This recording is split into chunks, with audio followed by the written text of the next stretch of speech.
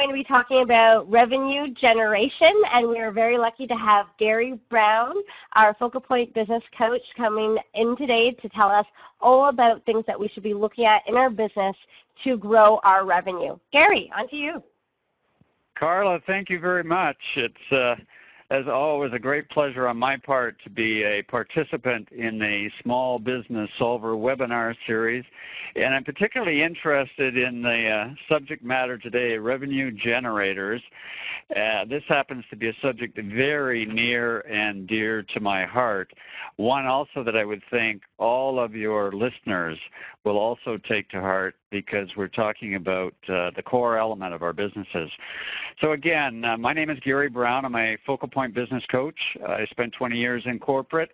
Then I had my own sales company selling industrial control equipment for a period of time, and then had the good fortune to uh, land within the focal point coaching world and as a result of that became connected with a small business solver.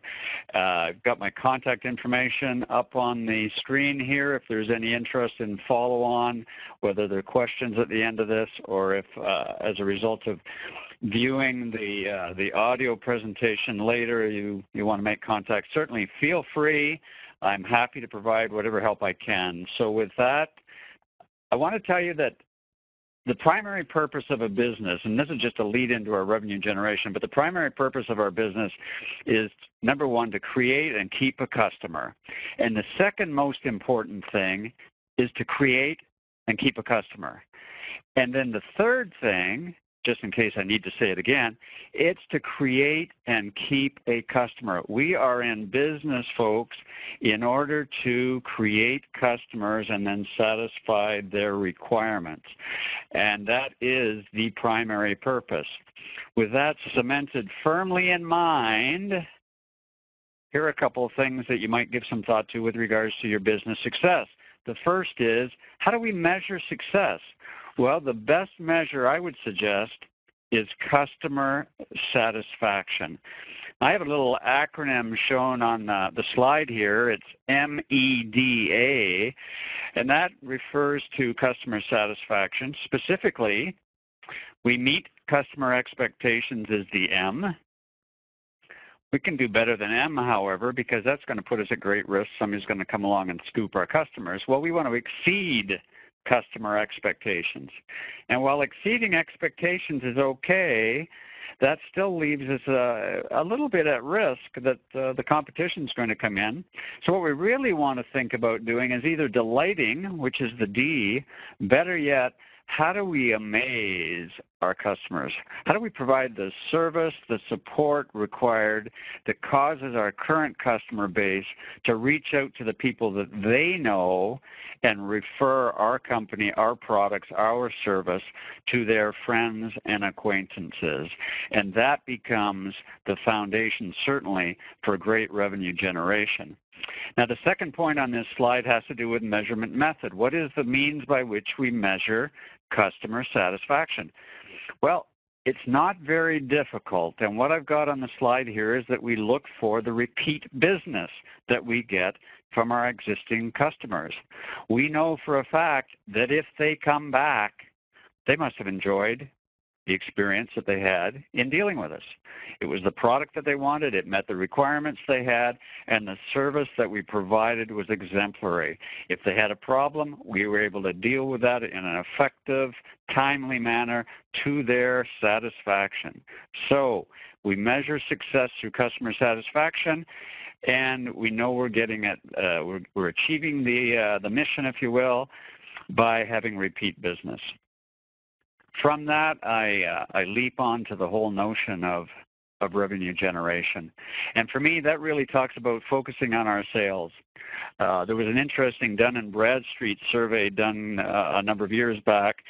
A very simple conclusion came out of that survey, and it was that businesses tend to fail when they have low sales. What a surprise. The other part of that was that businesses tend to succeed when they have high sales. Wow, again, that probably shouldn't be too surprising. The thing that I really like about it is their final statement is that all else is commentary.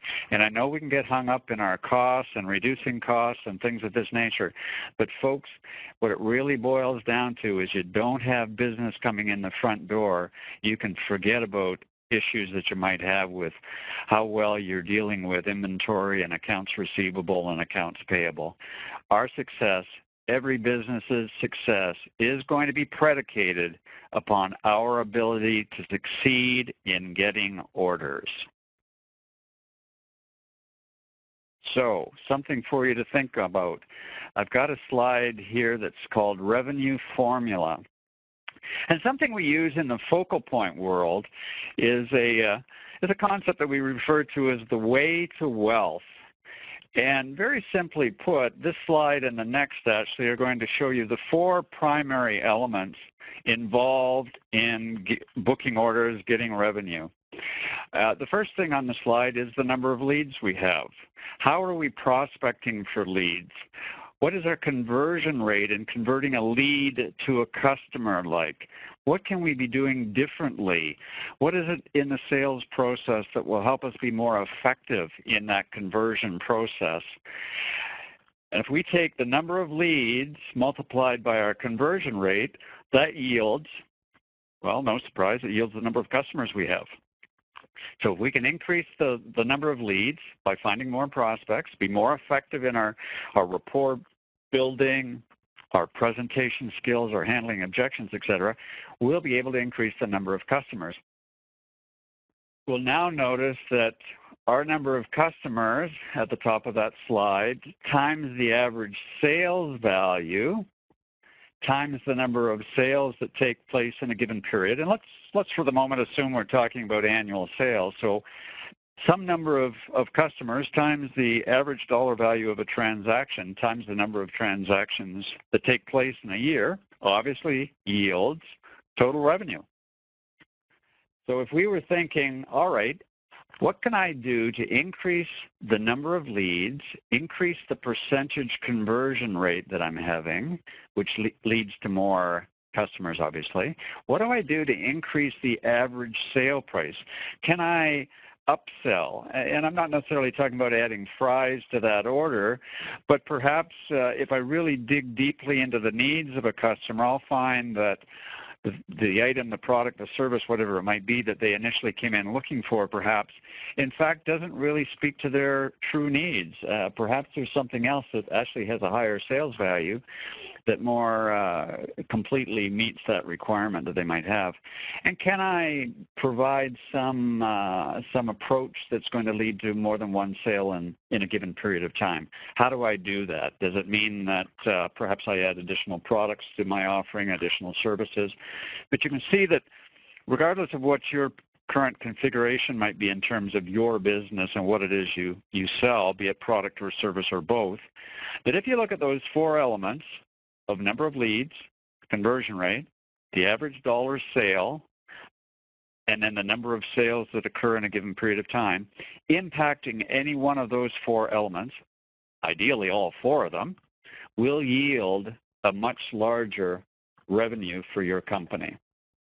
So from a sales perspective, four elements to think about, four areas of endeavor where you can sort of press your fingertips together, uh, lean back in your chair if that's how you get into your thinking posture, and think about how can I impact, how can we impact those four particular activities within the selling process. The productivity focus. This is something that, you know, we're, we're thinking about our, our revenue generation. And I think it's really helpful to think about the four elements shown on this particular slide. And here we're saying, you know, there are probably some things that I do today that I need to do more of. Well, what are those things? Likewise, there are probably some things that we do within our business, but you know what? I don't need to do that as often as I do it. Again, what are those things? The third point on the slide is there are probably some things that in fact, I could start doing something new. Something that we're not currently doing could be added to the mix. Well, if that's the case, what would it be? And then fourth on this productivity uh, focus, you're probably doing some things right now, frankly, that you should stop doing. They don't provide any benefit. They don't provide uh, any additional revenue. In fact, chances are they subtract from revenue. So there's some things you probably should stop doing. Here are some some general areas that I'm suggesting are very beneficial for the individual business owner to consider when thinking about generating revenue. We've talked about the way to wealth. Well, what are some of the variables that you might now, uh, maybe a better term in fact is lever. What are some of the levers that you might pull to help you in your revenue generation activities? I've listed four of them here. So I've got sales function, got the word differentiation, I've got the four P's of marketing, and I've said Pareto analysis. So we'll start off by talking about the sales function. I'm showing three particular elements. The first is owner focus. We're all owners of small businesses, and as such, we really should take the uh, the attitude, the approach that our number one objective as the owner is to drive sales through the front door. Uh, I mean, it's fine to be the one that runs out and buys the coffee and make sure the uh, the air conditioner is working or the rent's being paid or whatever it might be. But we can't lose sight of the fact that our primary responsibility to ourselves, to our business, to our employees is to generate revenue, is to create customers. In other words, to create sales. So that has to be our primary focus. With that in mind, we need to be thinking about the key hires that we make. As our businesses succeed and we begin to grow, we're going to be adding people. Part of that uh, addition of people provides us with the opportunity to delegate certain activities to these other people.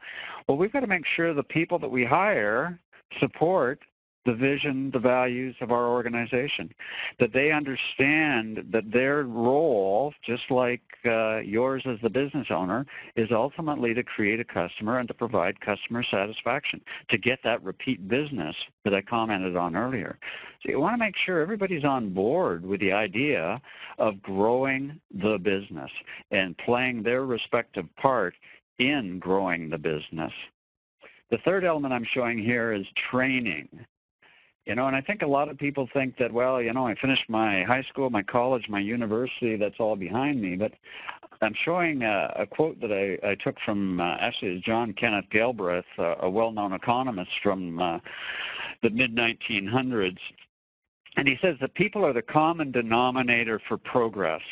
No progress is possible with unimproved people. But we live in a world that's constantly changing. We live in a world where we're confronting competitors all the time. And businesses do not stay stagnant. They do not stand still.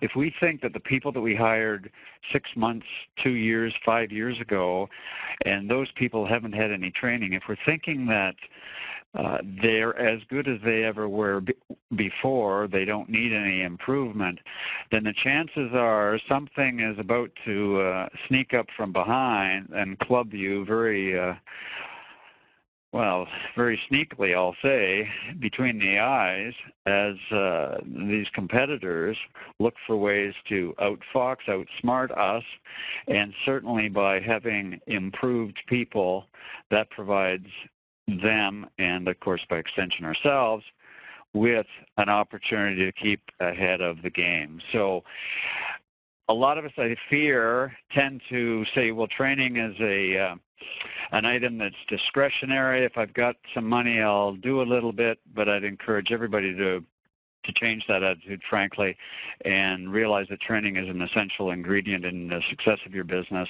uh, and you really can't do too much in the area of training. Differentiation. Now, you might have heard the term unique selling proposition. Well, this is, if you will, another way of saying differentiation. And differentiation is described uh, in three ways on this slide that I'm showing. Uh, one kind of brings a chuckle to mind when differentiation is described as it's like having a gun in a knife fight. Well, it might not sound fair, but there's a good chance you're going to win that fight. Uh, another statement is what is not different is not strategic. You might ask yourself, if what I'm doing in my business, then the, the what that I present to my customers isn't different, why are you doing it? What do you expect to get from that? How are customers going to be able to discern the difference that exists between your offering and the other guys down the street? Uh, so what is not different is not strategic. And then the final one, this uh, comes from uh, Kotler, Phil Kotler, who is a, a marketing professor. And it is that the company that stops getting better gets worse. So one of the things that I've certainly learned in my own experience of being a small business owner and even in my corporate background, there's no such thing as standing still. The status quo does not exist as far as I'm concerned.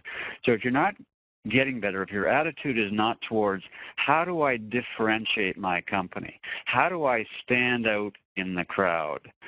Uh, Seth Godin would have us uh, talk about how do I look like a purple cow standing in the field? How am I going to be different? How am I going to be recognized as different? And what's what's out there that's going to compel somebody to come to me instead of one of my uh, competitors? And of course, if you're getting that person to come to your store, your shop, your business, you're getting that business, you're growing your revenue. The competition is not. The next point on my list of variables that you can take a look at, the four P's of marketing. Now, it may or may not be a term you're familiar with. The, uh, the four P's are listed there as product, price, place, and promotion. And I just want to back up, though, and say that the role of marketing is really to help each of us in our businesses build a long-term profitable relationship with our customers. You know, we're not interested in the person that comes in, shops once, buys once, and is gone. The most successful sale for all of us is the second sale, and of course the third and the fourth. But the second one says they came back it was the repeat business that we commented on earlier as the measure of our customer satisfaction success. So that's the role of marketing. We've got the opportunity to take a look at the product that we're offering. Are there ways to change that product offering that will increase the transaction value, increase the number of transactions per period that were part of the way to wealth conversation? What is the price that I should be using? Uh, and I almost cringe at uh, the idea of raising the question of price because it seems to me so many people think that they'll differentiate solely on the basis of price when they don't have the lowest cost position and aren't in a position to differentiate on price. Uh, to me, it's a, uh, a, a slippery slope, and it only goes in one direction if you're going to compete solely on price. But price is part of the marketing mix. How do I get it to the uh, the customer? The potential customer is the uh, the meaning behind place. You know, where am I situated, and how do I get that product out to them? Do I have direct sales? Is it internet-based marketing? Uh, the customer buys over the internet. Does the customer come to my place of business because they it's a retail store? I mean, what is the means by which uh, I get the product into the hands of the customer. And then the fourth P is simply promotion. How am I reaching those people that I want to reach, my target market, with the message that I've developed that I think is compelling, that I think supports my differentiation. So the four Ps of marketing, all areas where we can, again, press our fingertips together and give some thought to what do I need to do if anything, to to change my offering? How do I tweak it? How do I constantly uh, forge forward to, to make my business better rather than uh, take that slippery slope direction and go in the direction of getting worse? How do I remain focused on being different so that, in fact, I am strategic? And then the next uh, variable, if you will, that I'd have you consider is the uh, the slide labeled Pareto analysis. Now, Pareto analysis may or may not be a, uh, an expression you're familiar with. Uh, you're likely more familiar with the common 80-20 description for Pareto. And 80-20 simply says that likely 80% of those things you're trying to achieve come from 20% of the activities. Uh, I've listed four things under uh, the heading 80-20 where the, the rule can be applied. The first one I've got is product. So you can use the 80-20 rule by looking at the products you currently offer. There's a good chance that only 20% of what you sell brings in 80% of the revenue. Well, that opens up an opportunity to say, well, are there some things that perhaps I could cull from my product offering? Should I get rid of some things? Because in fact, they don't bring profit in. They in fact uh, provide me with a loss opportunity, and we're not that uh, terribly keen on that approach. The second approach that I've uh, indicated here is on our customers. Are there but 20% of our customers that bring in 80% of our revenue? Well, if that's the case, and undoubtedly it is, what do I do with the 80% that don't uh, create a lot of uh, possibility for me? Do I uh, say goodbye to some customers? And certainly I learned a long time ago that uh, just like the cola world, there are uncolas. Likewise, there can be uncustomers. So perhaps we need to take a look at, at reducing uh, some of our customers so that we can focus on those that really bring in the profit, hence increasing our total revenue we can look at suppliers. You know, do I spend time dealing with uh, some percentage of my suppliers that uh, cause me a lot of grief?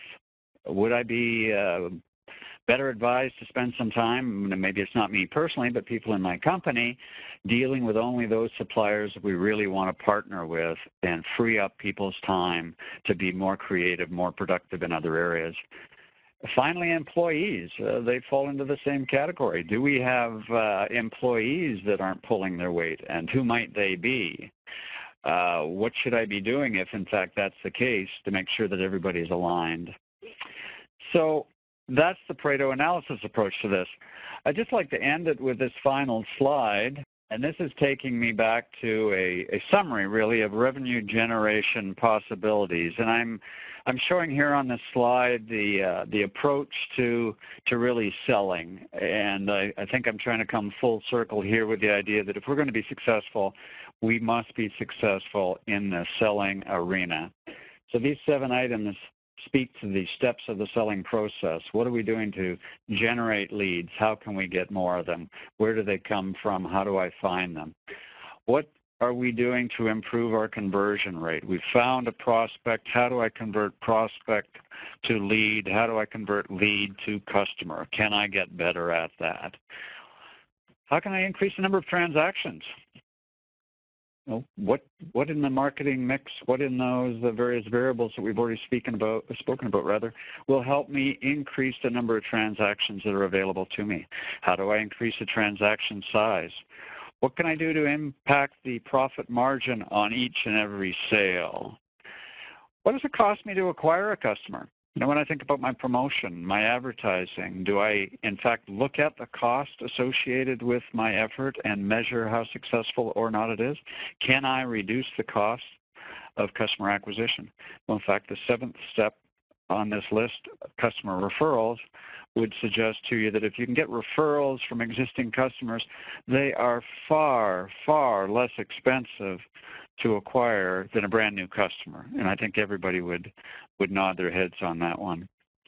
So there's a list of seven uh, revenue generation items summarized. Uh, I think that there's a lot of opportunity for people to reflect on, on how to increase revenue. I would just remind you to go back and think about the way to wealth conversation. Take a look at those four primary elements within that uh, algorithm, if you will, and uh, decide what it is you can do to impact each one of those four in a meaningful way. So number of customers, the, the, the number of leads, the average sale size, and the sales per period. With that, you'll increase your revenue. And with that, I'll finish my conversation. Thanks for listening. If there are any uh, questions, more than happy to take them at this point. And I wish you every success in your business.